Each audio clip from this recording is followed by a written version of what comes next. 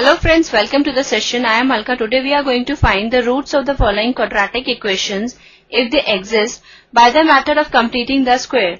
Our given equation is 4x square plus 4 root 3x plus 3 equal to 0. Let's start with the solution. Now, on dividing both the sides of the given equation by 4, we get x square plus 4 root 3x upon 4 plus 3 by 4 equal to 0.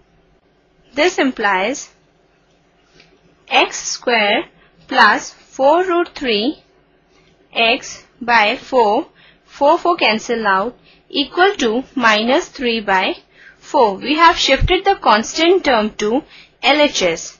This can be written as x square plus 2 root 3 by 2x plus root 3 by 2 whole square equal to minus 3 by 4 plus root 3 by 2 whole square.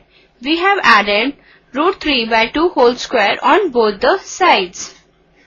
This can be written as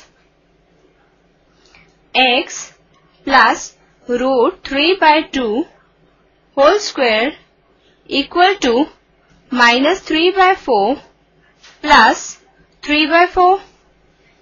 This implies x plus root 3 by 2 whole square equal to 0.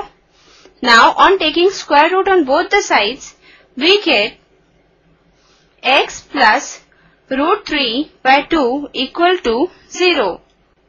This implies x equal to minus square root of 3 by 2. Therefore, x equal to minus square root of 3 by 2 minus square root of 3 by 2.